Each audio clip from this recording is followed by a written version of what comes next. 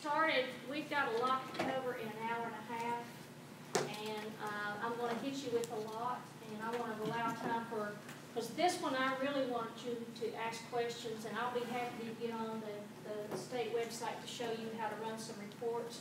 But, uh, I guess to get started, I'm Sandy Ratliff, Uh, I'll be your cruise director today on how to use eVA and get SWAM certified and so forth. And I'm with the Department of Small Business and Supplier Diversity. Um, uh, everyone should have a copy of the presentation, but also for you those that are taking, you can actually scan the QR code on your uh, device and have the presentation right there because in some of those reports on the printout, it might be hard for you to see. But I've also, to try to help you as we start moving into doing reports, I've given you a little cheat sheet on how I have uh, run some of those reports, although I'm happy to hear from you afterwards. That way you'll be able to have it, and you'll know what that girl with the accent said, uh, so you can follow along. But I tell you what, before we get started, let's go around the room, introduce yourself, and if you will, let me know, are you using Virginia's electronic procurement system, and how you use it would be helpful, so, uh, we'll start. How about we start in the back, Jan? Okay, I'm Jane Coleman, I'm with People Incorporated, and I'm not using it at this time. I'm Deborah McCroskey, I'm with the Bristol Herald Courier, and I'm not using it. Okay? Uh, John Rock from Rock City Furniture and Appliance in Greenwich, Virginia, and I'm not in the league, am I? I've got two people to tell me if I am or not, so I'm not. Yeah, I'm his sidekick, Mary Osborne. hi, Mary. I'm Chad Peter. My name's Cindy Brewer, and I'm not using the site yet. Okay? Sharon? I'm Sharon Stevens. I work at Countryside Realty. Uh, I'm taking these classes to become more up to date on the technology and what I might be able to take back at work or help my husband with. Okay? Uh, my name's Jennifer Miller, I'm, um, my service is the Care Taxi Service. Um, I've actually kind of checked it out a little bit, but kind of like not exactly sure. Okay? That's what I'm here for. manslaughter, and I'm not using it this time. Okay? Jennifer Harmon, A little bit. kind of, or kind of, we get emails in for DR Allen and Associates, um, but we haven't actually gone in to do a job for. And Natasha, you want to introduce yourself? I'm Natasha Snyder. I'm with People Incorporated. Uh, we do community economic development, and um, we sometimes have the privilege of traveling around the Virginia countryside with Sandy, and We were just employed yesterday together, Oh. spreading good cheer. it was great. And Jennifer, introduce yourself. I'm Jennifer Davidson, and I'm the administrative assistant here at the Small Business Incubator. Jennifer gets it done here. And Hey, you want to quickly introduce yourself? Yeah. Okay, I'm Wendy Thomas. Okay, good. Well, let's get started. Um, for those of you that have never been on eVA and know about the system, uh, what I'm gonna go over today is basically how you do business with Commonwealth. You don't just pick up the phone and say, hey, um, Virginia Highlands Community College, I wanna sell, I wanna cater your events. There's a system that you have to be on to be able to sell to the Commonwealth. Also, I'm gonna tell you why Executive Order thirty-three and, uh, twenty, which is the latest one, how that impacts you and why that's important for small businesses in Virginia to be part of this. And then you're gonna hear me make, um, the, uh, say an acronym called SWAM. And what that is, that stands for Small, Small and or Woman and or Minority Owned Business. And there is a special set aside, uh, for government procurement in Virginia for SWAM certified vendors. And that's one of the things we're gonna really spend some time on, as well as why it's important for you to get your micro business designation as part of Executive Order uh, twenty. But really, the thrust of why I wanna spend some time and help you really understand is, in Virginia, there's a lot of data that's on the electronic Virginia system that you can extract to find out who is your target market in Virginia, which target being agencies. Uh, what are they procuring, who the buyers are, how much are they spending, um, who are they buying them from, to know what your competition is doing, and how you can better target your market from a marketing standpoint, and a number of y'all come to marketing workshops. We talk about how important it is to target your market, it's not just be throwing things in different directions, if you've got to really home in to make the most value. and I'm gonna show you how to run, uh, to get registered and run various reports. Anytime during this, excuse me, if you have questions, please don't uh, hesitate to, to, to stop me. I get excited about this stuff, um, and, uh, I might get carried away. Just a little bit about who we are, kind of doing my promo, the Department of Small Business and Supplier Diversity. Uh, we're an economic development organization in the Commonwealth. Our primary focus is to help individuals, A, to get started, and B, most importantly, is to help them to expand and, and be profitable in Virginia. And we do that in a couple areas focus. For, for example, we have a financing arm that can help you access capital to expand your business or perhaps buy equipment. We also um, have a call center, a help desk that you can call and ask any kind of question about doing business in Virginia. It's called the Virginia Business Information Center. It's an 800 number that you can call. And then we also spend a lot of time in helping people access to markets, which is what this workshop is all about today, is helping you to tap into Virginia state government uh, markets. And then finally is we do a lot of workshops, and I've seen many of your faces at a number of the workshops that we, um, that we do within my twenty-three county service area. Late arriving is uh, uh, Kathy Lowe, she's the director here. We were on time, had to stay on time, so. I know, the mayor called and was asking about specifics for tomorrow's announcement, so. So uh, Kathy I is the uh, director here, and uh, we partner a whole lot, and she's also uh, vice mayor with the town of Abingdon. So if you need anything, just go to her, make her do it for you. She gets it done. I enjoy working with her. Uh, I mentioned that we have a call center, the Virginia Business Information Center. This is where, like say, that you're wanting to start a business. Let's say that I want to start a salon in Fairfax, Virginia. How do I go about it? You can call and talk to one of our counselors, tell them where you want to be, what you wanted to do, and then they can start directing you to the agencies and the steps that you have to do uh, in Virginia to be uh, set up a salon. For example, you've got to get your uh, business uh, license at um, Fairfax County. You've got to get a, a Department of Professional Occupational License to actually operate and uh, be a hairstylist in, in Virginia. Uh, you got to get your business set up. If it's an LLC, you might need to go to State Corporation Commission, all those kind of things. They can answer those ques- questions for you, because it's tough sometimes with my schedule to always catch me, although I'm pretty good at emails, but if I'm involved in a couple hour session and you need to answer that question, call our eight hundred number. Um, another thing that we do, and I do a lot of, is entrepreneur workshops, and it's from a variety of topics. Anything that, that helps businesses not only get started, as Natasha said, we were in Floyd yesterday, we did a workshop, what we call the Entrepreneur Express, on helping folks in the Floyd County area that are wanting to start a business or also expand a business. And we had, um, we had to bring in chairs, which is the kind of workshops I like to do. We probably had, uh, close to thirty plus people there. We even had some high school students who are already starting to look at entrepreneurship in the future, which is always exciting, um, opportunity.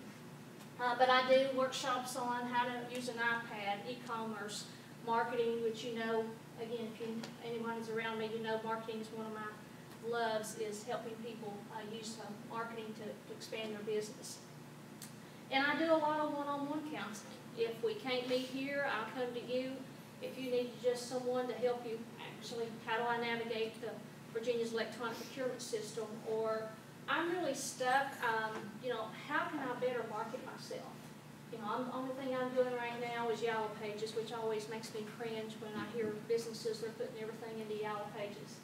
My mother's almost eighty-four, she doesn't even use Yellow Pages, she uses, she found this thing called Google on her iPad, and that's, you know, you've gotta change with the times. And, uh, we talk about things like that, or whatever it is, you're looking for resources, financing. Um, I've been in economic development for over twenty-five years, so if I don't know the answer, I usually know who to contact. Uh, I know people, you know, as the prophet says. So raise your hand if you want to have more business and more sales for your organization. Exactly, that's why we're here. And that's the whole reason that we're wanting to help businesses tap into this market in Virginia. Because it is a great resource because we purchase annually almost seven billion dollars in goods and services and construction. For a small business, tapping into that market could make the difference in you buying that new equipment or one month, you know, you're struggling to even pay the power bill. Well, if you get a, a deal with the state, maybe that'll help you, uh, generate some more revenue to, uh, uh, make those payments. I mean, it's whatever your needs are. Um, just getting on it and, um, is one thing, you gotta work it, but when you're on the system, you have access to two hundred and forty-five agencies. Uh, those are agencies like our agency, we're a state agency. Basically, anyone that's receiving state funds has to do their purchasing through this system. It could be a college, university, it could be the Department of Prisons, it could be VDOT. You name it, uh, if they're receiving state funds, they have to go through this system to do their procurement. Um, and the other thing, once you're on that system, you're gonna be part of the other eighty-eight thousand plus vendors, vendors being businesses just like yourself that are selling to the Commonwealth. So you, you do have, just like in the private sector, you do have competition. And hopefully I can give you some tips of how you can kind of help you, um, get more insight and, and more targeted, uh, and connect to those markets. And if your business is not part of these numbers, uh, you need to be there. Uh, cause it's, it's, again, it's whole, another whole market. And as I said, if you're selling to the com, or if you're buying, uh, if I'm a state agency receiving state funds, I have to go through this system to do my purchasing.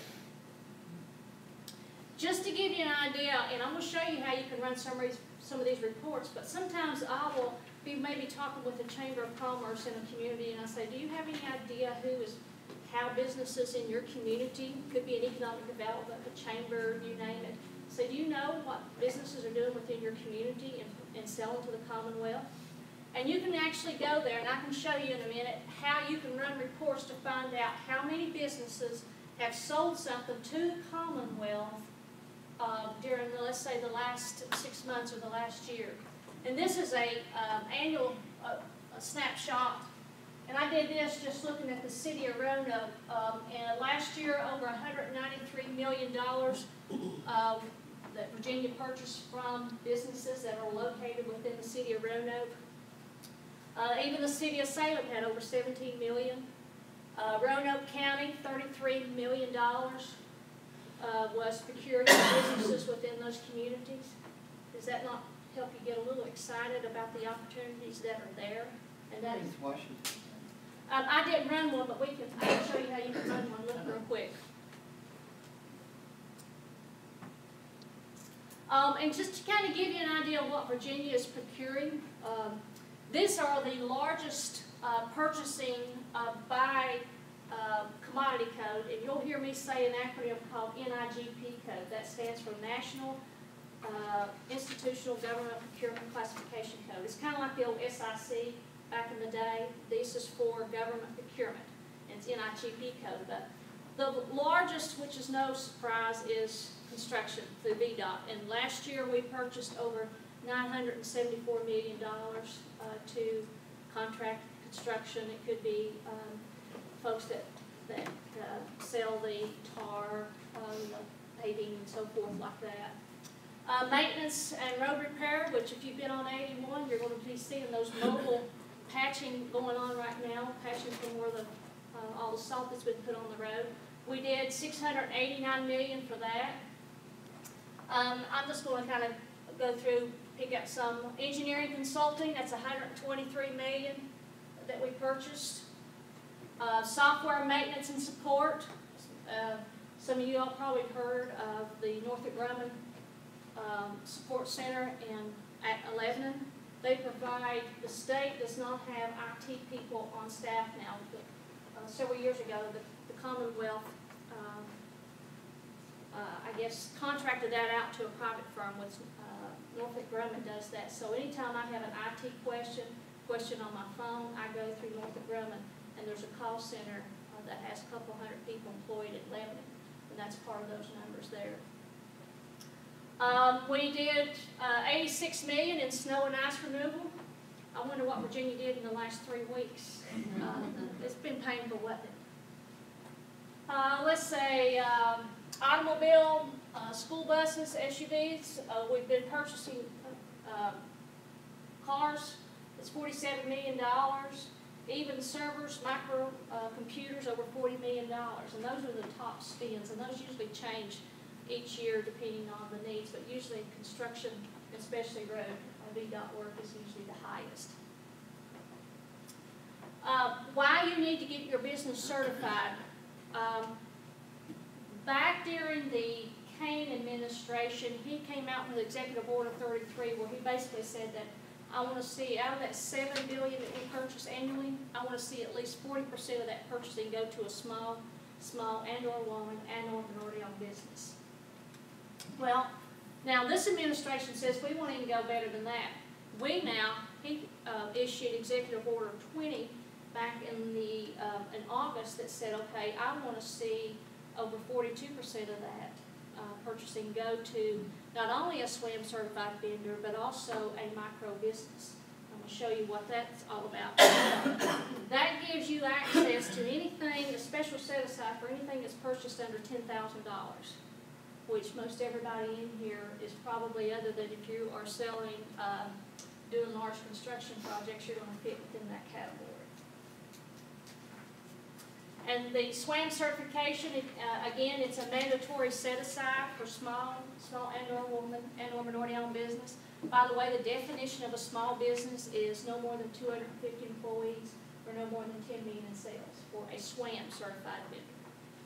Now, to be, um, part of the executive order twenty to get your micro business designation, not only do you have to already have your SWAM certification or be getting it, but you also um, can get your micro business designation, which a micro business is twenty-five employees or less, they're no more than three million in sales. So if you're already SWAM certified, I'm gonna show you the link of how you can get your business, uh, designated as a micro business. And if you've not done your SWAM, now while you're doing your SWAM certification, you can also have them do your, your, uh, micro at the same time. I'll show you those forms as well. Any questions so far? There'll be a test afterwards, and there'll be an essay, so you better be listening. Some of the things you need to think about as we move forward when you're looking at this market, and again, it's not just kind of like in marketing, you just don't set up an account like on social media and think, well, I don't have to do anything. You have to, you really, if you want to make something out of this, you have to work at it. You have to network, and you've got to run reports to find out um, what, what my target markets are. And you that's what you want to do, is you want to run reports to find out who is my target market. Uh, is it, um, the community college system? Especially if you do consulting on training, um, you know, you might want to target the, the community college, uh, and the universities to do that. Uh, you want to differentiate yourself from your competitors too, and that's part of the networking and, and building relationships with those buyers within state government. And then finding out where I want to target uh, in regards to uh, selling to the Commonwealth. For example, if I do um, uh, landscaping and lawn work, you know, that contract out with Virginia, it probably wouldn't be cost effective for me living in Big Stone Gap, is where my business is, is to try to do contracts in Virginia Beach. So you need to be focused the same way with catering and so forth. So you need to figure out what is my target area within the Commonwealth that I want to focus on. And then do your research. You like that? I use an app to do that. And that's where uh, Bugs Bunny is actually running spin reports that I'm going to show you how to do. Uh, because that's key. I, I don't know of another public or private sector market that you want to target that you can actually garner so much market intelligence from free. That's what I love. That's my favorite four-letter word is free. Anytime along the way, there's help if you, as I say, you've got me, you can contact, or you can call our, um, anyone from our uh, Virginia Information Center or any of our folks in our agency that may be focused, you have a specific question on your SWAM certification, we have people that specialize in that, same way with micro business, or whatever your needs are, there's help along the way. Be patient, it takes a while with any market to develop those relationships and get the word out that you're there. And um, so be patient, but also when you're getting some of your certifications, it's not overnight. It's going to take some time. But uh, you can do it because there's 88,000 other folks that are doing it. Um, and there's also lots of times there's events to where you can network with these buyers. And if there's an opportunity for you to network, um, it could be that you have to drive to Roanoke or to Richmond, but if it's a large enough event and there's the buyers from those agencies that you're wanting to focus on, I would say, you know, get in the car and think about going and networking with those folks. Because you can, again, if it's under that ten thousand, that's an opportunity for a special set aside that they might just call you and say, can you give me a price on, um, I need five TVs to go in a classroom, can you give me a price? And they can do it that way, under the ten thousand. Just because you're on the system, you've gotten all your certifications and so forth, does not mean you're guaranteed. You've gotta work at it, just like any market. When you're on there, not only are you access to all these markets, but, uh, not only in Virginia that, that the state is purchasing over six billion, you have local governments that, like Washington County, the town of Abingdon, that has procurement. Now, in Virginia, uh, local governments are not mandated to have to use this system. Some do, there's over, um, uh, five hundred and ninety-five local governments that are on there, but the governor can't say you have to use this. It's a local, so even though you're getting on the state system, I would actually then suggest that you kind of network and find out with those communities that you want to target, is find out with who, within, for example, Washington County or Buchanan County or any of the counties, I would find out who does the procuring. And some localities have a special way that you sign up to be, to sell. I know Roanoke and the city of Roanoke, Roanoke County and the city are totally different. They have different guidelines in setting up. And you have to walk through all those hit, those hoops. But once you get on there, that could bring an a great opportunity for you. Um, once you're on the system too, you can actually, uh, look at what active, solicitations are out there, or as we call them, quick quotes, where somebody just put up yesterday that I need, uh, I want a, a quote, and you've got till five P M tomorrow to respond on, um, it could be that I want a, um, hundred, um, shirts that are monogrammed, I'm just pulling stuff out of, out of my head, but that's where you can see some quick quotes, because a lot of times, again, under that ten thousand purchase, they put them out on quick quotes. And I encourage businesses that if they go this route, they need to pinpoint or assign someone within their business to actually work this system, to go, to make it a habit, maybe the mornings or the evenings, is to go and see what kind of quick quotes and solicitations are out there. Also, when you get on that system, you need to, uh, be able to receive emails, and I encourage if you've got a smartphone, put your email address on there, because it could be a quick quote, and you have a certain amount of time to respond, and if you haven't checked your email for two or three days, it's not the state's fault. So you could miss out on an opportunity just because of, I just didn't think, It's what usually teenagers say, it? I just didn't think. So go on there and be smart about it, and you can also look at some statewide initiatives, uh, you can, um, look at bidding opportunities online, but there's so much, and I can't stress enough all the market research you can do on this system. And, uh, again, it's free, it's right there. So if you go on the Virginia's, uh, uh, website, and I've got you a picture on that handout, you go on the main page, it's eva.virginia.gov, this is the, uh, the upper part of the opening page when it comes up. And this is where I can find out, it'll tell you how much Virginia spent, usually it's year to date. Um, it will also tell you the agencies, and you can actually look up agencies. Or, I have this happen a lot of time, I'll say, Sandy, do you know, um, if there, if, um, such and such firm is still operating in Virginia, or I need to find out who's a point of contact or an address for a business. A lot of times what I'll do is right here out of these eighty-eight thousand, if you hit that, that'll bring up a page where you can actually put their name in. Or if I wanna search for every business in Buchanan County, or Grundy, Virginia address, I can put that in there and it'll give me a list, uh, that I can call that out. That's a quick way to, uh, access folks. My screen's cut off down here, but also you can look on, uh, these are statewide, uh, contracted projects.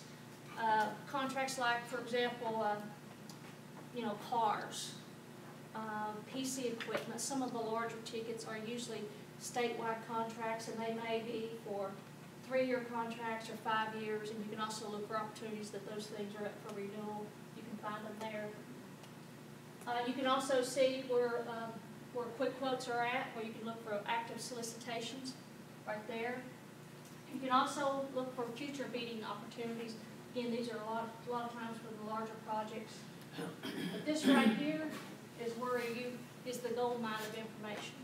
This is where you can spend a lot of time on these procurement transparency, public reports, where you can find out who's buying what I'm selling, how much they're spending, um, and if you don't spend some time on there, you're missing out on an opportunity. And I've met with clients that's been on the eVA system since the early, I mean, twenty years ago, and they don't really know how to um, run the system, so they're just actually, they're just, they're just responding, they're not doing anything actively to, um, to get more business.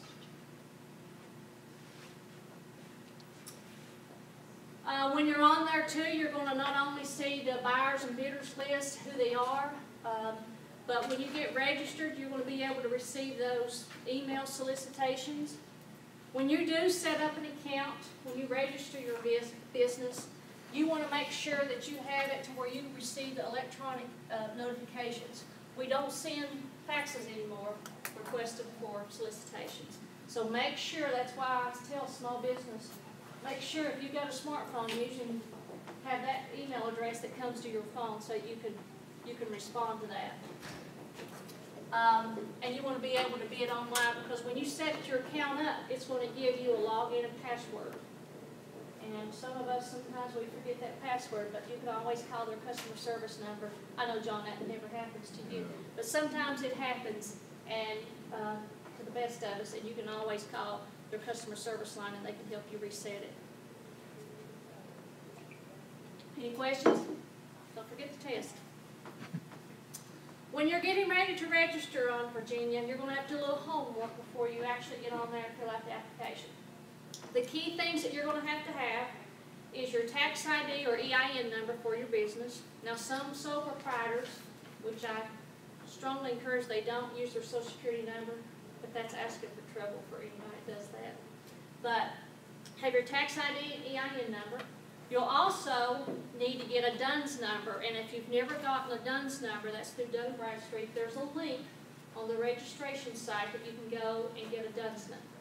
Sometimes, uh, you can, uh, request a number and it can happen by the end of the day, or it can take a couple of days, that's just, that's DUNS, uh, we have no control over that. Uh, the other thing that I wanna call your attention to that's the most important is your commodity codes. Being on there is one thing, but if I'm actually going to look to see who carries, um, I need to purchase, uh, I want high def TVs that have, um, uh, smart, uh, smart TVs that I can access the internet for. I mean, they're all uh, all kinds of specifics, then I need to know who provides that and who sells those in Virginia. So don't just put in one commodity code. A great example is people that do that is caterers. Well, it's great to have the catering on there, but do you just do catering? Do you do party trays? Do you do dessert trays? Do you do drinks? Do you do party planning? Do you do uh, event setup? you're missing out, you're just putting in one commodity code, but they might have put in a commodity code for event planning, and you're missing out on that opportunity. Put as many commodity codes as you can possibly think of that reference what you sell. And if you try to, you wanna figure out, and you wanna make the easy way out, is when we run some of those reports, see what your competition is doing, and we can look up their commodity codes. You can spend hours looking, but if somebody's already done the homework, let's just use that. That's the other thing about having this, being able to see it online. Um, and one of the other things too is if you have a certain area that you want to serve in Virginia, when you sign up your account, you want to be able to put on there that I only want to serve Southwest Virginia or Central Virginia or the parts of Virginia that you want to, to serve. Again, an example could be that someone might have received, um, uh, they want to, they received a bid to um, do all of the HVACs in South, in Virginia.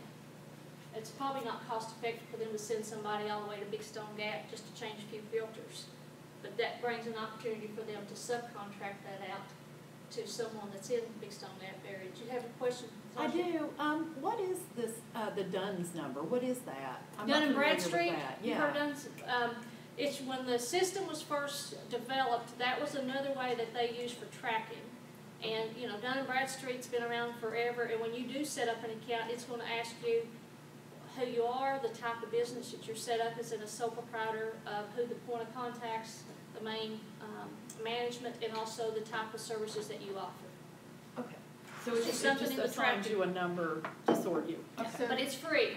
Once, once that's, once you're registered with that, do you have to update that every so often, or like if I Unless wanted you need to know- change, if you were making eight-track tapes, and now I'm going into CDs or what, whatever it is, then you need to go in there and change it periodically. Okay, so I couldn't use that, like if I wanted to know if somebody was still in business, or, You can look them up, you can do a lookup by, uh, go in by state, and then you can put in the name of the business and you can check them, uh, there.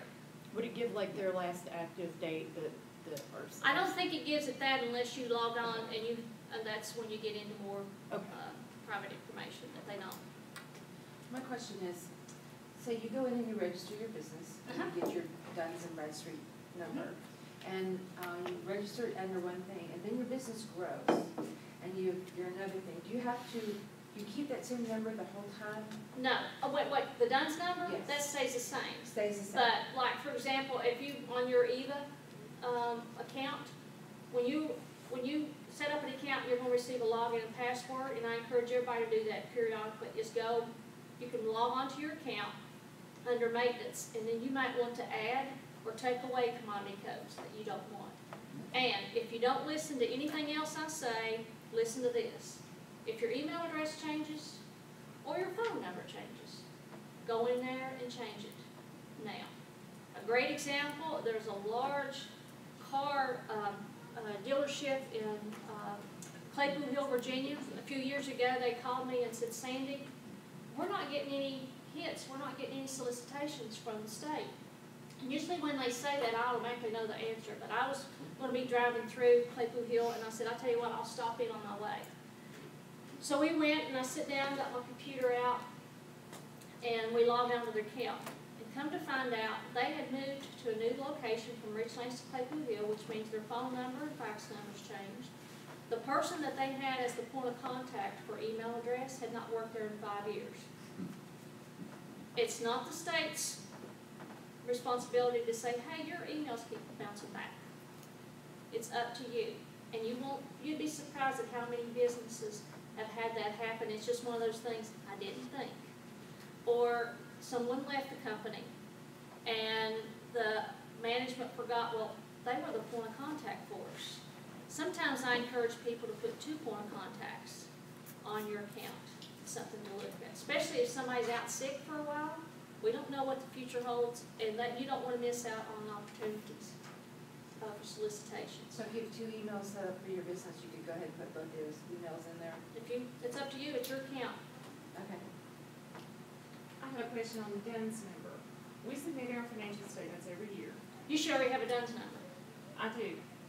But how, every time I ask to see what's on the report, they wanna charge like three hundred dollars. Yeah. And we'll That's have to done. Have it. That's DUNS. Are you aware of a way to look at our reports free? We should be allowed, just like a consumer credit report, to be able to see what's on there. I do not know, that's one of those things I'll have to, to check, I, I do not know. do you have to pay a fee to be, to do that? Well, used to, and I've been at Brock's TV for a long time. They used to give us one free every year, but I've not got one in five years. Every time I ask, they tell me it's now part of the package. Uh, well, that's just probably because they were losing They business. ask you for the information. Yeah. They, ask- they, they, s- they, Give them that information. they ask you for the, Every year they'll send you ask a, for the information. a questionnaire and ask for your financial. Obligated. If you don't give it, what happens? They'll ask you again. They'll keep asking you every year. Yeah, I tell people too, when Is you there- register for that, there's an option, there's a block where you Yes, need to make sure that exactly, you, exactly, but- I can't remember if it's check it or uncheck, that you do not want to receive marketing because they'll burn it up for you. Yeah, they wear me out. And I just, you know, I I send them the hard copy letter saying that we're not interested at this time. Now, be sure you do that, that you, I, I can't remember if it's check or, or you uncheck that you do not want to receive marketing, uh, contacts and so forth. You know, and, and I'm sure you all already said this, but the thing about that one is that you think the way that, the way the solicitation comes, it looks like it's a requirement that you need to comply with. You're talking about DUNS? Yeah, Yeah, that- And so, you know, every time I get something that looks official, I try to comply and, you know, and that's, It's kind of like those people getting those supposed emails from the IRS to verify your account. It's just one of those things you gotta be careful about. yeah. Sandy, Yes. can I have one of your head down? Oh, I'm sorry.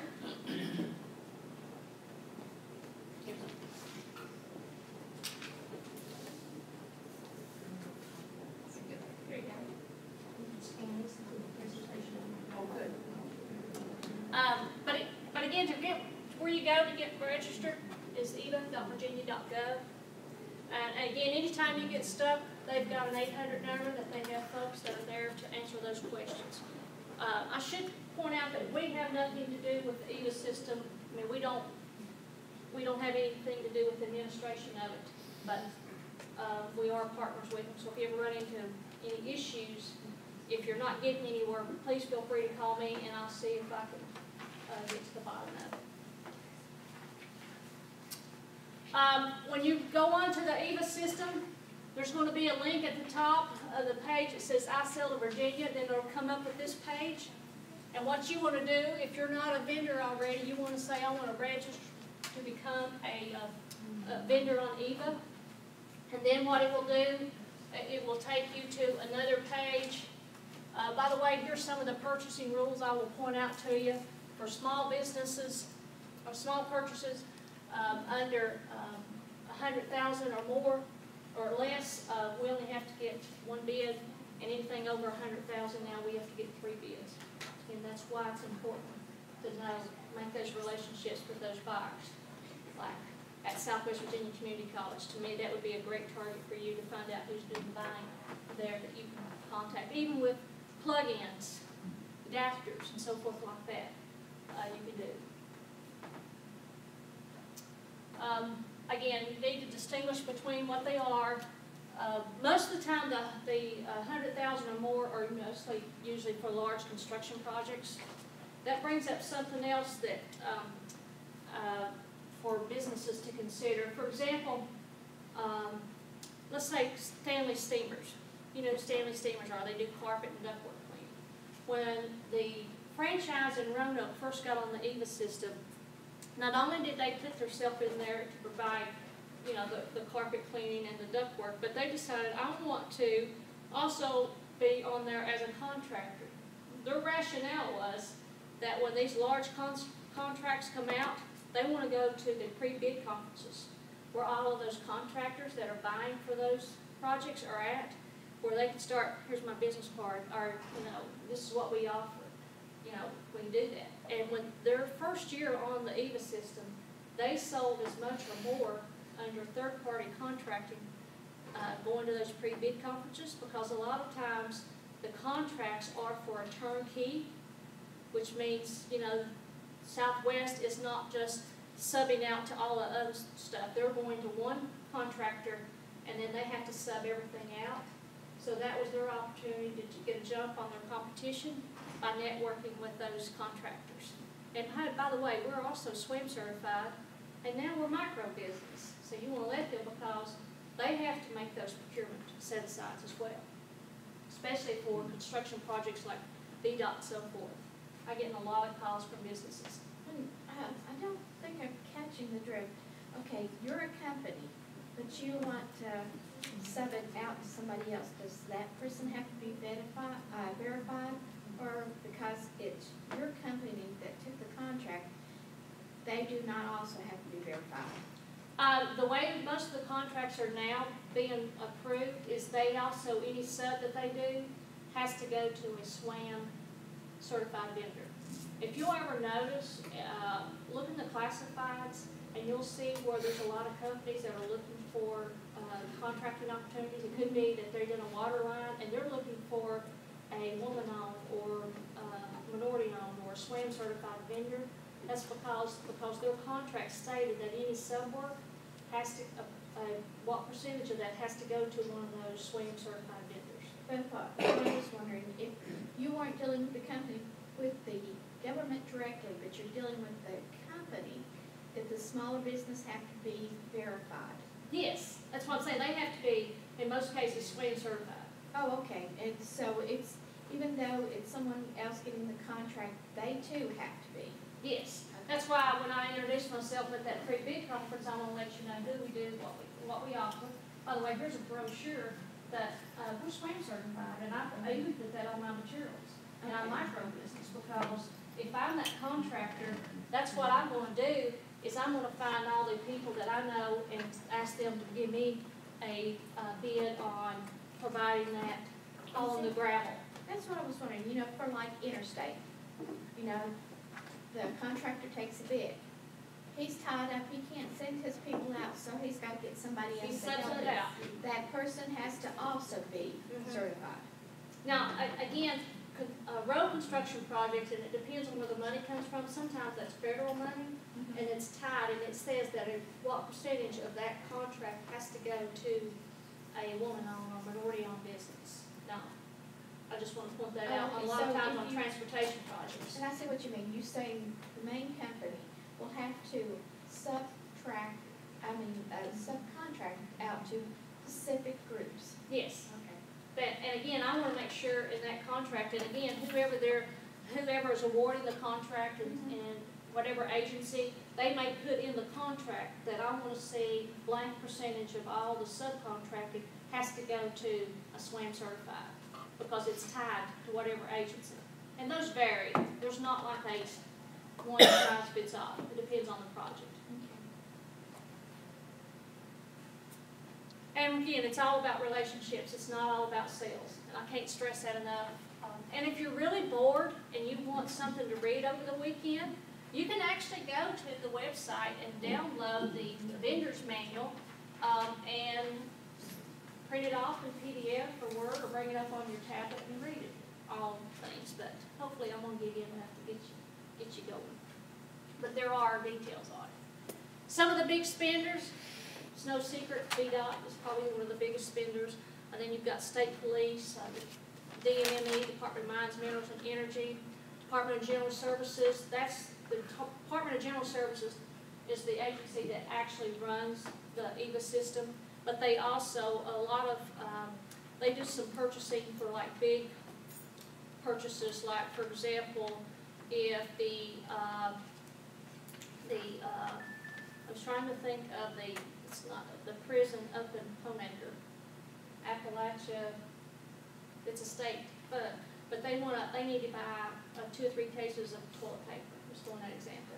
They might wanna just go through, go to, um, general services to do that purchasing, doesn't have to put it out on the bid, and some of those things, it's not a whole lot, but there, you can go there and find out on, DGS, which that, that's the acronym. And of course, all your colleges and universities, I mean, those are like mini cities, so they're buying everything, from food to, um, equipment to, uh, services, you name it. And that's, a- those are good opportunities to connect with those. Here's a little smorgasbord, uh, there's no rhyme or reason, but this is, gives you an idea of what Virginia purchases in one year with these commodity codes. The soft drinks, we just did about hundred and eighty-eight thousand. I guess they're pushing us to, uh, drink out of the fountain.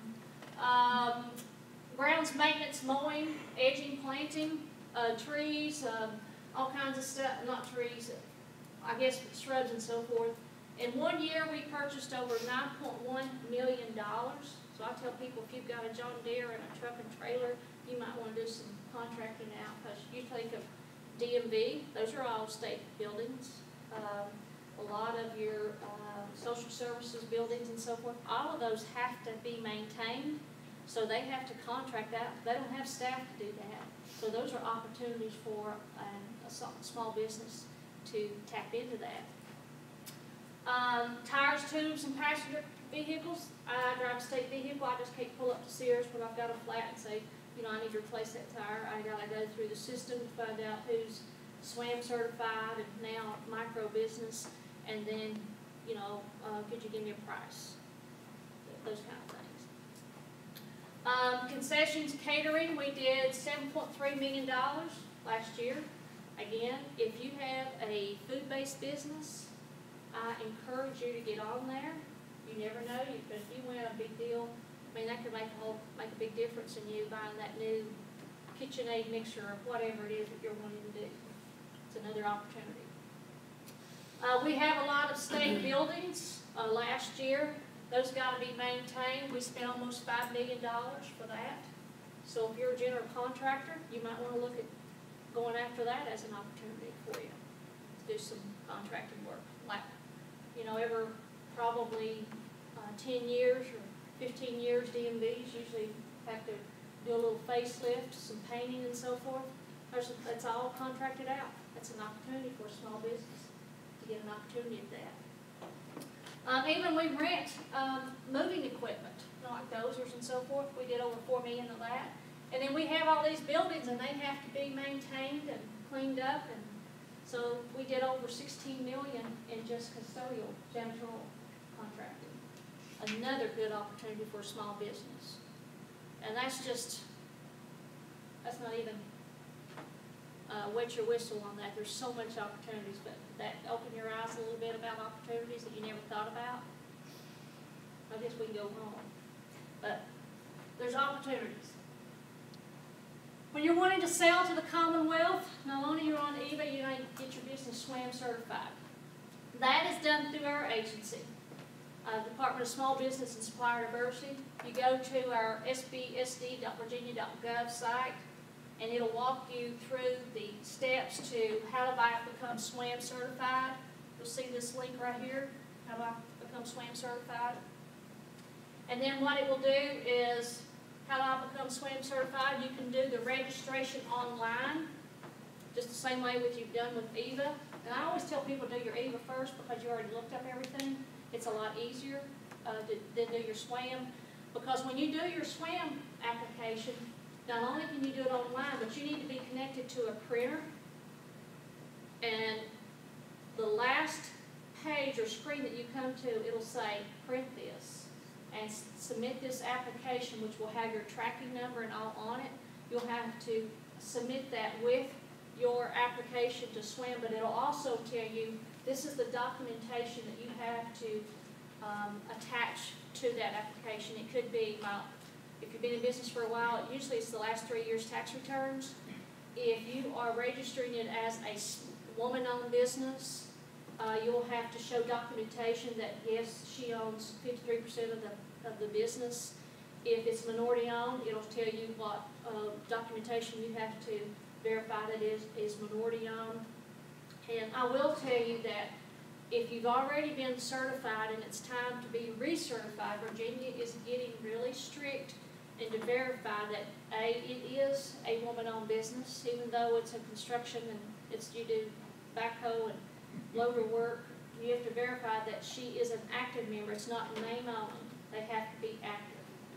And I've had this happen too for businesses that, you know, Virginia cannot discriminate who we purchase from, so you're gonna see businesses from Tennessee, New York, I mean, all over the country that are registered vendors. But before you can get on Virginia's site to be registered, for example, Tennessee, you have to get your business certified in Tennessee as a, the way they call it, is a disadvantaged business. And their requirements are different from Virginia. So, but you have to be certified in your home state before Virginia will even consider you. But everybody in here is Virginia, right? Are you? Okay. But I have that, and I've had some vendors that, one was from Johnson City, and a couple years ago, he called me, he was all upset, he said, Sandy, um, I've been, uh, they disapproved my recertification for SWAM, they said that I have to get certified in Tennessee now before Virginia will do it. And he said, our business does not qualify because I think in Tennessee, you can't have more than twenty-five employees, but also I think your sales is no more than two million. And they far exceeded the sales to be considered. And he said, what do I do? And I said, well, looks like to me you've got two options. Either A, you subcontract out, you find a vendor that provides that same, they did industrial, um, oils, uh, petroleum products for industrial. I said, I would find out someone else that's registered on eVA that's in Virginia that can provide that, or B, come on over to Virginia and set you up an operation. Never did hear from him anymore, I don't think that's what he wanted to hear, but that's the, that's the way, I don't make the rules, I just report them. But that's, that's some of the things you need to think about. Uh, some common mistakes when people are registering, um, and keeping, um, and they're not getting those solicitations, just like what I said about that car dealership at Claypool Hill for my friends, you don't really have to guess who that was. But you need to make sure your contact information is up to date. Um, even if some businesses, small businesses use their cell phone as their primary contact, but you might have got mad at one vendor, one uh, cellular, uh, and you wanted to change to another one and you couldn't move your phone number over, so keep that information up to date. And as owners of businesses, it's your responsibility to make sure if there's any changes that you need to have that changed on your, on your account. Again, it's not our responsibility to let you know, uh-oh, your, your solicitations are, uh, coming back. And I already said, you don't make a mistake and say you wanna see facts, make sure everything that you put on there, that you wanna see email solicitations. So, you ready to get to work on that? Any questions so far? This is the fun part. I'm gonna put, if I, I need a Columbo jacket so that we can start doing our, our, uh research and, and investigating, so. What I'm gonna do is show you how you can run reports. Just being on here is just one small piece of it. To me, the real value is when you start using the information to, to garner, who is my target? How much, I'm getting ready to respond to a bid, I'm curious to see what they purchased, how much they paid for it the last time, because what that does from a small business owner, that brings value to where I wanna be smart, I don't want to underbid myself, but also I don't wanna, I don't wanna leave a lot of money on the table. And this is allowing you to do your homework, and you'll be surprised how many people don't even think to do that. So you ready? Now again, when you're ready to get on the system, this is the main page, eva.virginia.gov, and this can rotate and change depending on the activities they have on there.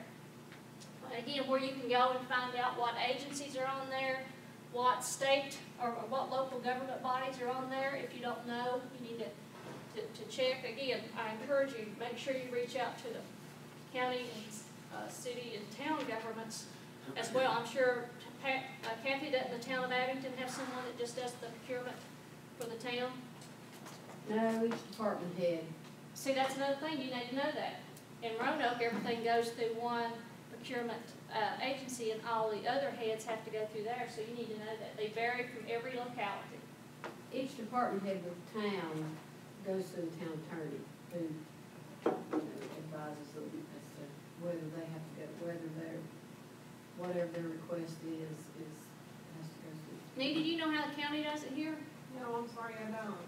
I think they have somebody that does procuring, but I'm not sure. I think How? our purchasing department would do that. Mhm. So, don't forget that, that target market. Um, and then, here's another opportunity too. I mentioned vendors, and I said earlier the competitors, but I always also think of them as a potential market. For example, if you have, see someone that may have won that bid to provide, um, the maintenance to all the colleges' HVAC systems, and I see they did it, and they're in Northern Virginia, I might wanna connect with them and say, hey, I'm located, located in Big Stone Gap, I could do all these colleges, and I'm SWAM certified, and I'm also got my micro business designation. You could subcontract that out to me, and that would save you from sending a, a group of folks to, you got the hotel and everything, there's another opportunity, and I'll provide the, the materials for this price. So don't just think of them as competition, that's a potential another market that you may not have known about. Um, when you're, when you're starting out, you've already looked up what your, um, EIN number, tax ID, and you've got your DUNS number. Now I need to do some homework and I wanna find all the commodity codes that, that are available that reference what I do. On the main page, on the main bottom of the, of the front page, there's, it says NIGP code lookup. You hit that link, and what it does is it brings you up to this page. And what you can do is, here's an example, I just put in engineering. And when it comes up, when I hit engineering, it'll give you not only anything that has relation to, to engineering, but also, if you click some of those links, there's also additional numbers hidden underneath those main codes. And use those. Remember when I said catering? If you hit the catering in NIGP code, then underneath it, it may be, um, dessert trays, drinks, all of that will be under that, and you might, you wanna look at those commodity codes as well. And again, when you're getting ready to register, you hit register to become a vendor on eVA, and then it'll walk you through that process. We've kinda gone through that. And I've also given you a handout on, um, how do you become SWAM certified there. I gave you all kinds of stuff. Sacrificed a lot of trees. But here is where, uh, this is where it gets fun. On the main page, you'll see that it says procurement transparency and public reports. This is the little honey hole of information where you can now start doing your investigating, your research. And when you hit that, it's gonna come up with another page. Now, this is where it gets exciting. I've got all kinds of stuff now I can find out, and by the way, it's free. I love this. For example, I sell, uh, uh, I don't know, uh, professional architectural work. I'm a, I'm a certified architect and I wanna do work. I can, first of all, and I've looked up, remember, I've- we've looked up all those commodity codes that reference what you do. So you can actually go and hit this, it says who's buying what I sell. When that comes up, it'll bring up another link. And you have the option of putting in, you can put in one commodity code, or you can put all the commodity codes that reference what your business does, and it's a little faster this way. All you have to do is put a comma in between each commodity code that you put up there. And in this one, I'm gonna do commodity spend by seven oh three, what I wanna do is just do a quick glance, I wanna see the total amount that Virginia spent on just that one commodity code over the past six months. So I put that up, I wanna do it by NIGP code, and I'm gonna do the commodity code in, uh, ninety-two five hundred. And then you put, you can do a custom, even though it says it's three months, you can do six months before it will block. So when it comes up, it's now, I've run a report and it's gonna show me that over the past six months, Virginia, uh, issued hundred and twenty-three purchase orders totaling twenty-three million dollars for architectural work. Now I'm getting excited. I see now there's a market for my business in Virginia. Follow me? Okay. Now, I wanna find out more. I wanna go to that, um, the report is, trying to remember, it's the seven oh two report.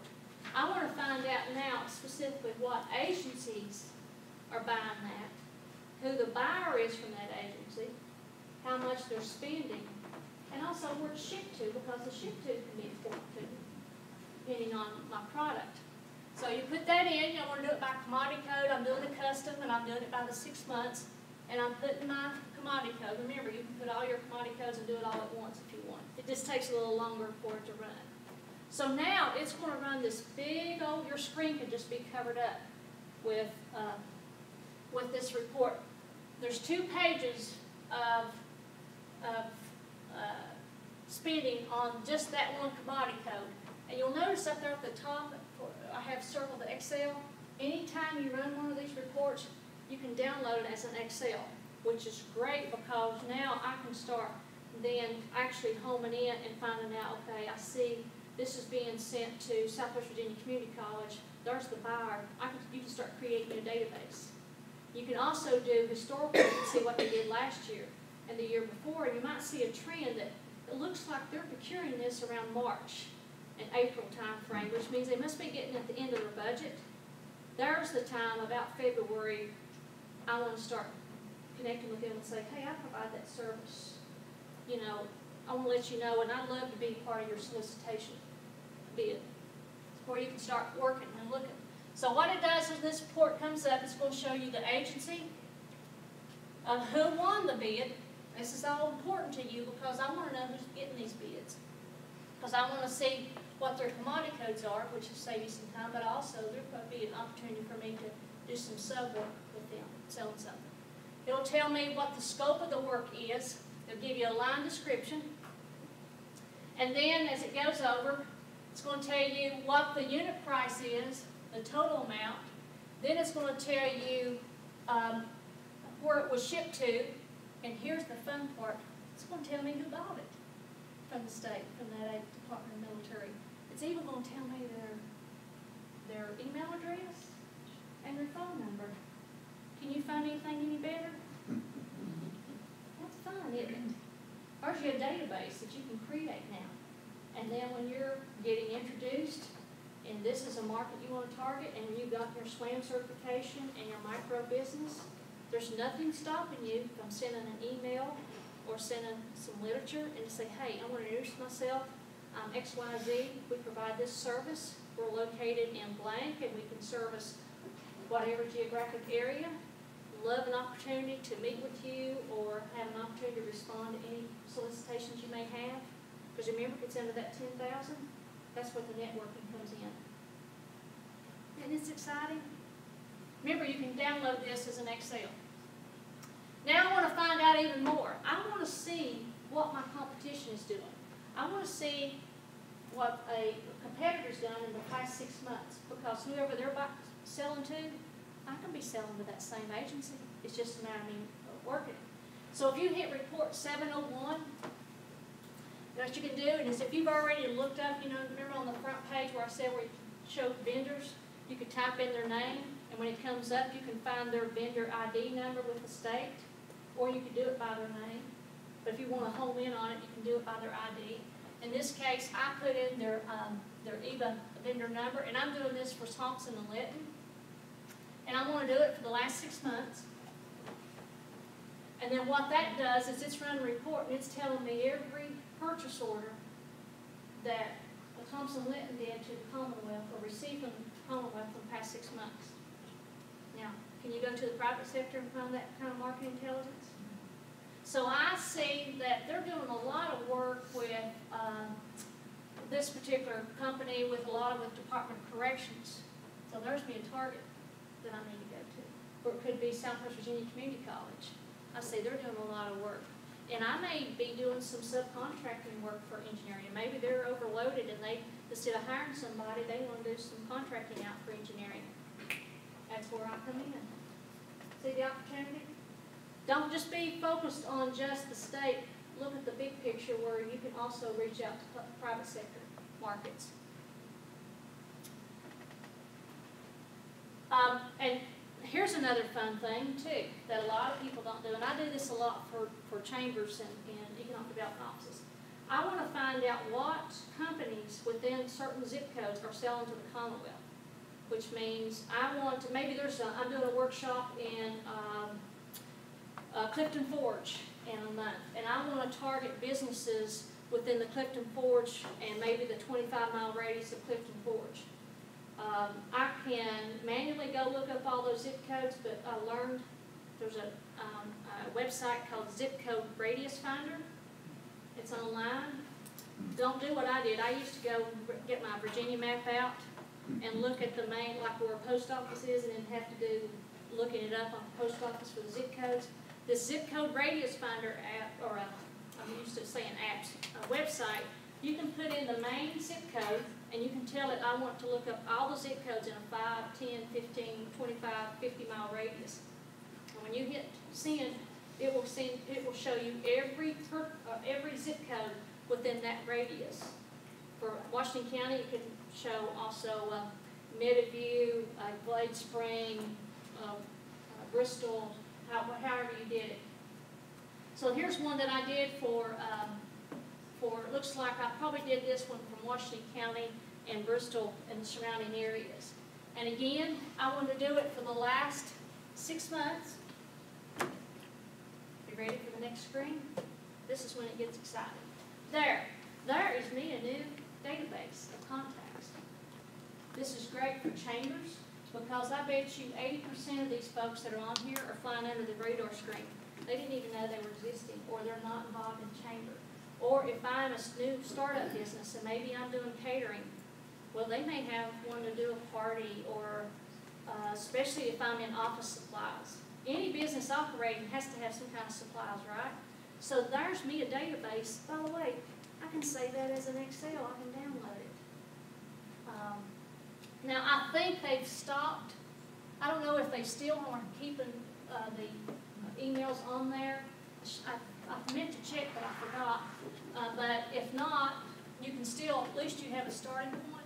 But in this case, this is in, um, yeah, this is all in the Abingdon, Bristol, uh, area. It's gonna show me the company, where they're located, uh, who the contact is, phone, fax, email. It'll show me how many purchase orders in that last six months that, that they did to the state and what the total amount is, and when their last transaction. Now, you can go and buy lists from those companies, but have you ever bought a list, a database, and how many of those are old, that they're not up to date? They go into that blank, blank hole, and I, you've spent a couple hundred dollars for that list. Now I have a list that I got It's pretty cool, isn't it? And now I can start targeting them. You could either send them an email, or more importantly, if you're in the area, stop by, introduce yourself, give them information about your company, and there's an opportunity. Excited about that? And remember, on this, on this sheet, um, I've given you the step-by-step on all these reports and how you run it. This is an example of what a solicitation, if you do receive a request for proposal, this is just, a- this is an older one, but it's pretty much the same thing. It'll give you information about the bid, and it'll usually, it'll give you a link to where you can go, because a lot of times there are attachments, it could be in a PDF or in a Word document that gives you the details of that whole bid, and usually it could be twenty pages, depends on the project. And there's just one that's on an email, and then what that does, when you receive that, you would hit that link to where to take you right to that request for proposal, and you can review the- all of it in detail, and then when you're logged into your account, you can actually respond, uh, right there on your, on your account. Um, and then you, again, I, I've showed you where you can find active solicitations and quick quotes. You can actually hit that on the main page and bring it up here. And then if you want to say, okay, I want to look for quick quotes that are under construction right now, I hit construction and hit search and it's going to show me all the active ones. And whenever you hit this hyperlink, that'll give you, take you to another page where you can download the actual solicitation, the RFP with all the details and who to contact and so forth. Okay? Also, for your techies, eVA has a mobile app that you can download, and if you're on the go, you can respond and look up, um, uh, for opportunities and search right there on your device. Here's an example of a screen capture I did with my iPad, and it'll show you if I just put in open solicitations, it'll give me a listing. You wanna, before we move on, you want me to go to the website, you want me to show you how to run an actual report? Yeah. Yep. It'll cost you extra, but I'll do that for you. That's just the way I roll. Just send the bill to John. Yeah. Well, you didn't say what Sean did. No, I'd say which John. Okay, here's the main Oh, page. We're live on eVA. And I scroll down, and you remember I said that the honey hole of information is under that procurement public reports. So I click that. Ah. Now, I have access to all kinds of information. You asked me what did Washington County do last year? You see their orders by county? Not sure if it'll do this. Some of this is in Flash, and it doesn't always work. And I think that one is, some of those reports. Sometimes they don't work, but I have to do it online. But it, you can go there and you can look up Washington County, or just hit it on the map, and it'll show you what the total amount Washington County businesses did to the state. But if you wanna find out who's buying what you sell, does anybody have a commodity code that they already looked up or know? If not, you can go to the main page. I have a question, do you have to be registered to be No. able to ask? This is all public information. I'm not logged into anything. So what did you, Can you mind going back to the, uh, uh, where you press to get to that page? This is the main page. It just went to eva.virginia.gov. Okay. While we're there, I'm gonna jump down and say NIGP code lookup. We can do a quick look lookup. Anybody, uh, wanna look up a commodity code they use? Everybody's quiet. I was trying to think of what mine was. Um, TVs? TV, that sounds good.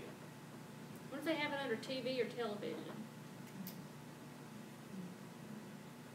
I will say that the system is not, doesn't really like multiple words, so make it simple.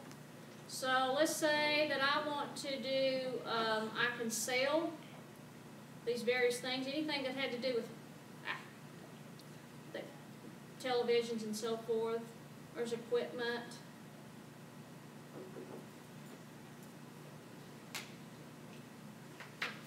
I think what I'm gonna put is television.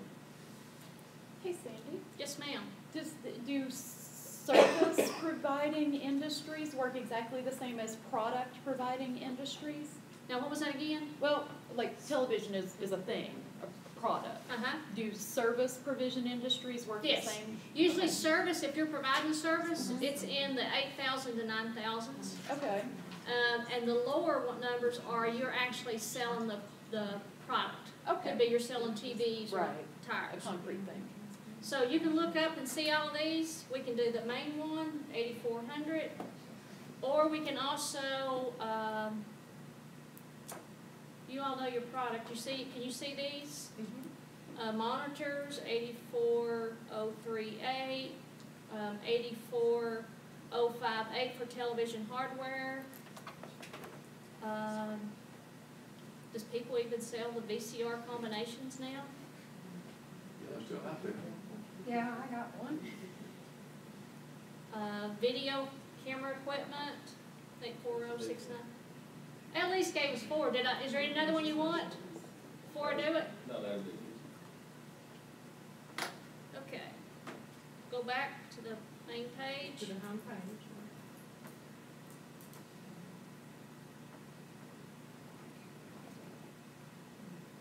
And I wanna do a public report transparency. To do do?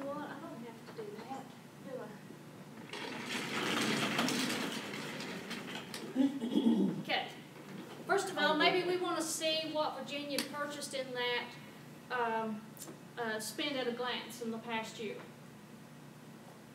So I'm gonna do seven oh three.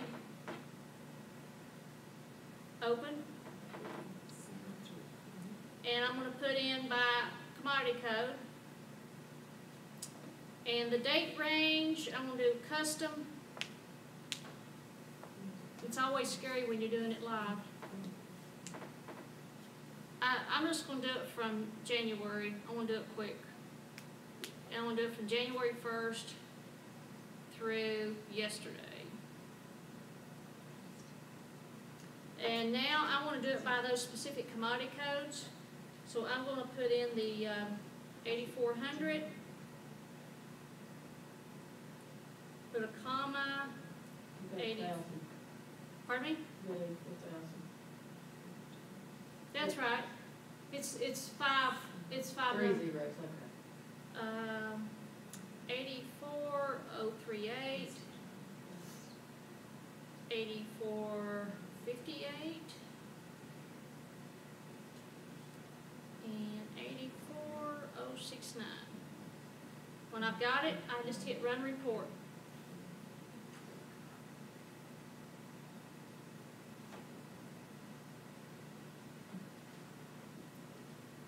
One moment, please. This is why it's always scary to do it live, because you don't know if they're slow, or your internet's slow, or sometimes they're having issues. I will give you a tip, it seems like it's better to run reports in the mornings than in the afternoons, because most of the time people are either, A, they're putting in bids requests, or B, people are responding to bids, and it just seems like it gets bogged down. I probably should have just put one instead of doing that many.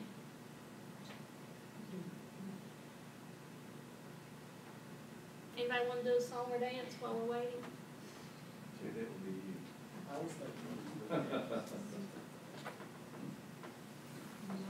I'd like to ask you a question. Is okay. there, um, is there anything in here that you see pertaining to, uh, excuse me, yarn or classes or historical or? You could, I mean, all we have to do is go into the NIGP code lookup, mm -hmm. just put in yarn or put in, uh, uh, historical, or what have you, and then it'll give you, if there's a commodity code first, we gotta have the commodity code, and then we can go and look up. Okay, here's, here's a spend at a glance for the first three months of this year, and those commodity codes. Gives you an idea. So the main one was, uh, you got almost thirty thousand. I would suspect a lot of this done is at the end of their year. So you gotta, you see it on that one. Now, I'm going, to, instead of having to type all those in again, I'm gonna block and copy those.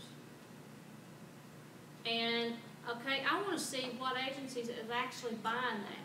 So I wanna say, who's buying what I sell? I wanna open it.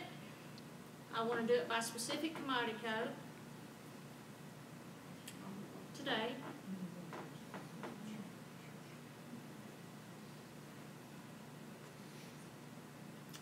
And I'm gonna do that as well from the first of the year, did I not hit that?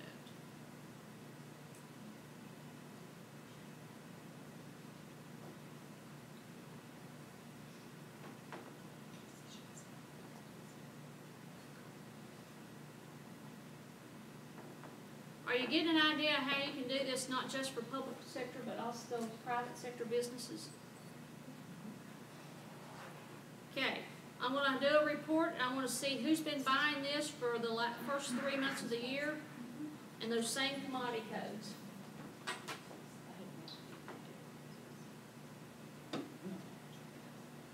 Okay.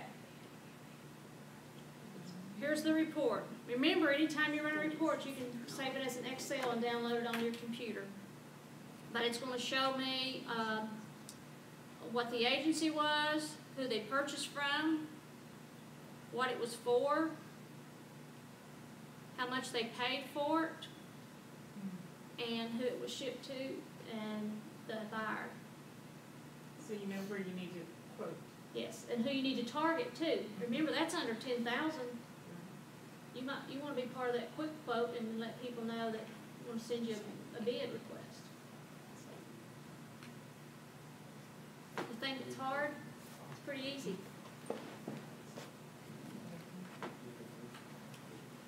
Now, if you want to, uh, if you wanna find out, here's another thing, if you want it, you provide, you supply this type of projects, pro, pro, products or services, depending on what you're looking at. And I wanna look for maybe some subcontracting opportunities for somebody that, especially if I'm in construction or what have you.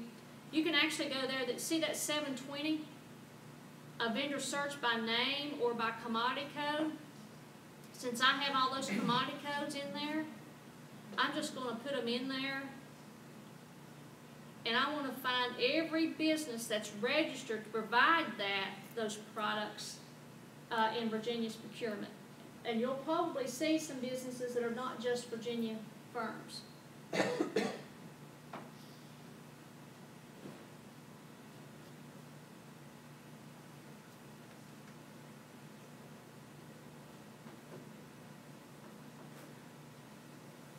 So there's me another database to contact. These are, you can think of as competitors, or there's me another potential market.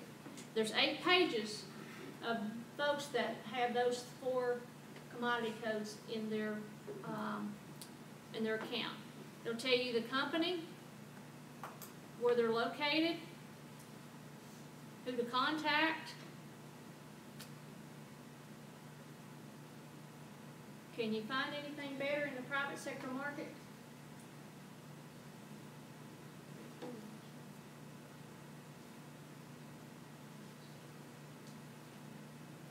And then if you wanna do some prospecting within your radius of your business, for whatever it be, if it be a nonprofit and you're looking for, um, you know, partners or for solicitations, or you are wanting to just to sell products or services too, you can actually, I wanna find every business in the past, let's say, uh, I'm gonna go from July to December.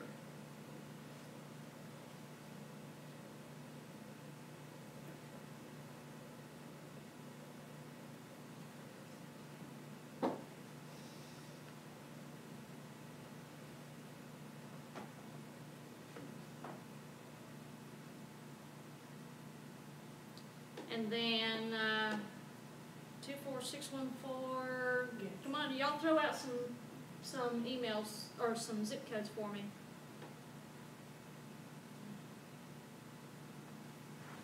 Ah.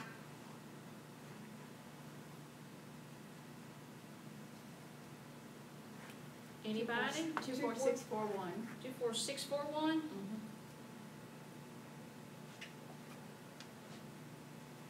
Who said something, sorry? Two four two one zero. Two four two one zero for Abingdon. Any others? Two four two one one. Oh, I see, I got that one. Oh, did you? Okay. Anybody? Two one twelve. Two four two one twelve. Okay, So, there's, two four two one twelve. okay. So you see how you, I did that. So now this is gonna run a report, this is gonna tell me every business that is located in those zip codes that sold something to the Commonwealth over the past six months. John, do a little song and dance while we wait. Okay. You wanna, uh, go ahead and start singing for me before I, so you can give me a tune, a melody? Has anybody actually been on the eVA system before at all? It's been fun. I've done this a little bit. So I've got two pages of me, a database that I can connect to. It's gonna tell me who the business is. Uh, it's also gonna give me their email address. Chamber, are you listening to this? Cause there's an opportunity to, to uh, network and also for the, the, uh, the newspaper.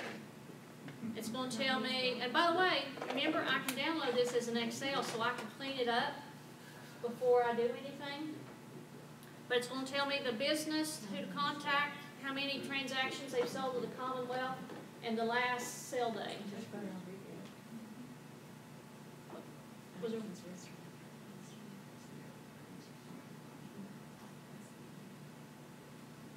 Who's Dustbusters? Oh, that's Joe Sneed. Well, that's eighteen hundred dollars in six months.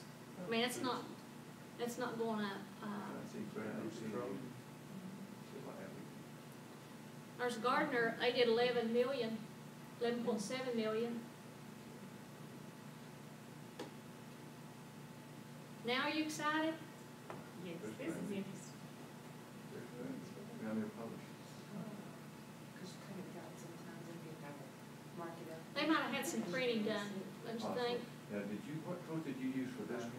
I used Grundy, and I think that I put uh, Vansant, yeah, I put Vansant I zip mean, code, You're searching just, by zip code. I know It's- that, but what are you searching, just business in general? This is businesses that It's sell to the, the it's the, it's the, uh, seven oh four report, it, I'm doing it by zip codes.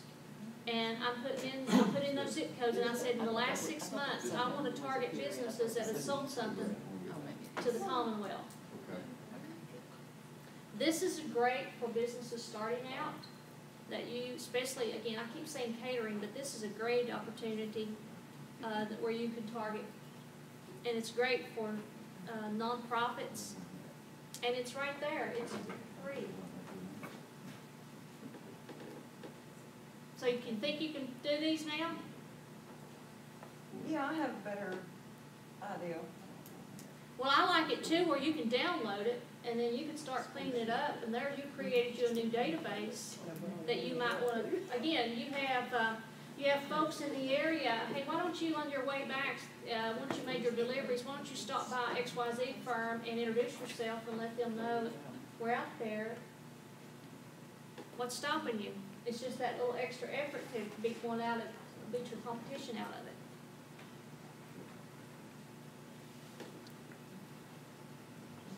Glad you came? Was it worth your, your uh, admission?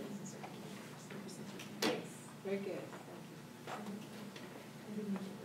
And then I highly, highly, highly, highly recommend that you get your business SWAM certified. You need, you want, every small business in Virginia wants at that special set aside.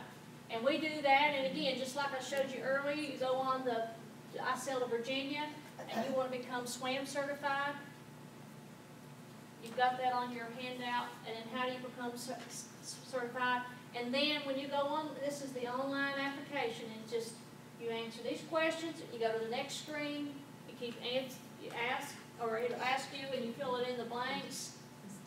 It'll ask you, and this is important, that's why it's good for you to go ahead and do your eVA first, because you've gotta look up a lot of this information. And, uh, you have to list if it's a partnership, for the, how the ownership structure of your business, you have to list it on there, because that's all part of your SWAM, your application and review. Um, what kind of business, what do you offer, the services? Uh, then when you're finished, it'll, uh, when you hit that, when you hit continue, the last screen that comes up again, be sure you're at your, uh, a printer, because you can't go back, you'll have to start your application again. Been there, done that, I'm giving you, that's Sandy's, one of her tips for today. And then it'll tell you, the last screen will tell you, this is the documentation that you have to send in with your application. I'll give you another hint. When you send in, because again, if you're established business, use this last three years' tax returns, any information on the structure of your organization, who the owners and so forth.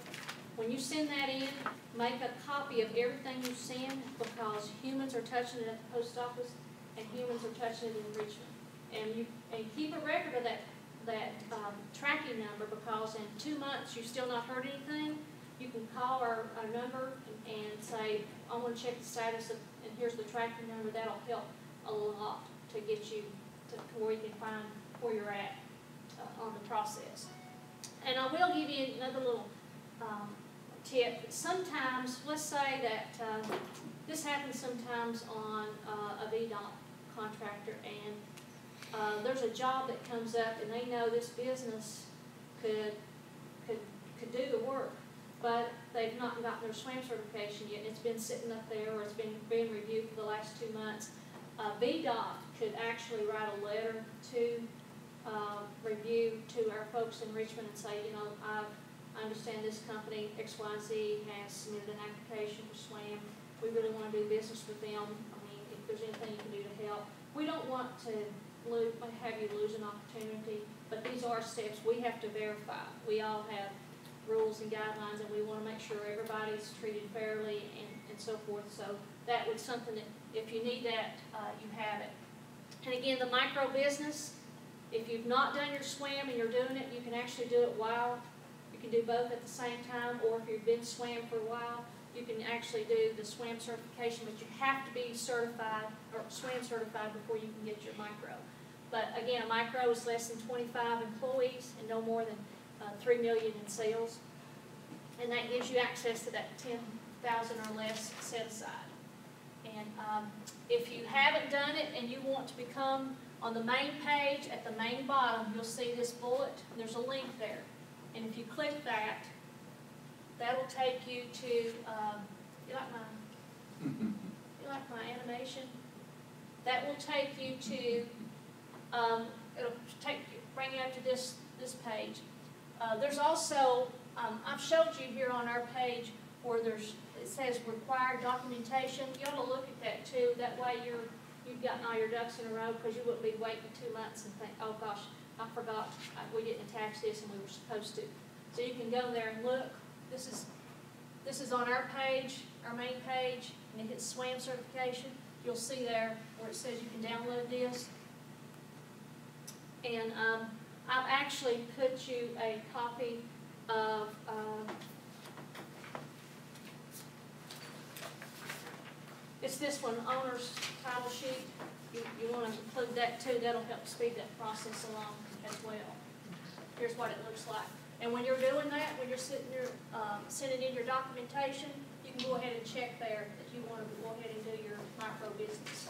during your SWAM. Um, and this is a little bit from the governor, what that micro business, then the bolts is, if it's under, um, uh, twenty-five jobs and no more than three million. And this micro does, they go pretty fast. It can be less than two weeks, you can get your micro business designation. Any questions? So you said if you're an existing business, you have to send three years of tax returns. No, if, yeah, if you If, just, if you're just, if you're a new business, what do you have what to you can do is how your business, it'll tell you, maybe you want to show, like if you just gotten your, um, corporation papers, you'll send that with it. However, it's however you set it up, it will tell you what documentation that has to be attached to it. Questions? Remember, just being on it, just like on social media, that's just, registering's all part of it, you have to work it, and I can't stress enough, is building those relationships with those buyers. Trust me, that'll come in handy, and don't assume that everything's correct, is periodically, and again, if someone leaves and they were your point of contact, go there and change your information. If you need help, you can always uh, yell at me, well, don't yell at me, Kathy does that enough, but, um, you can, uh, contact me or, uh, some of the other partners in our agency that can help you. Um, The SWAM expires after every so it's a three-year certification, and you have to renew. Okay, so the eVA, does it expire as well? Okay, so once I thought I got And usually when you do your eVA, probably the next day, you'll see, you'll be listed. But really, it doesn't do you any good until you get your SWAM, because they're really, the, they're mandated, they've gotta do those, um, of the forty-two percent has to go to a SWAM, and that's what most of our purchasers are doing, is checking. Yes, And any one of those categories is sufficient to, to allow you to be SWAM certified, right? yes. Small or? Small and or and or. woman, yeah, minority. Okay, Because a lot of businesses are just, uh, small. okay. Thank you. Question? I know we're just a few minutes over, but we were a little later, um, getting, get going. Any other questions? Does this help you? You excited about a new market of opportunity? Uh, next week, um, is, if you are struggling with social media, we have a consultant that's gonna be here next week, um, that's going to help you with your social media. And she is a guru in Facebook, Twitter, and all things social media and I encourage you to come. You can't beat the price. Bring your lunch, and um, we've got other ones coming up, and I, I hope that you uh, enjoyed today. If you will, fill out the evaluation or uh, do it on your device. But uh, I thank you for coming. And anybody got anything for the cause that they want to add, promote? Yeah, great job.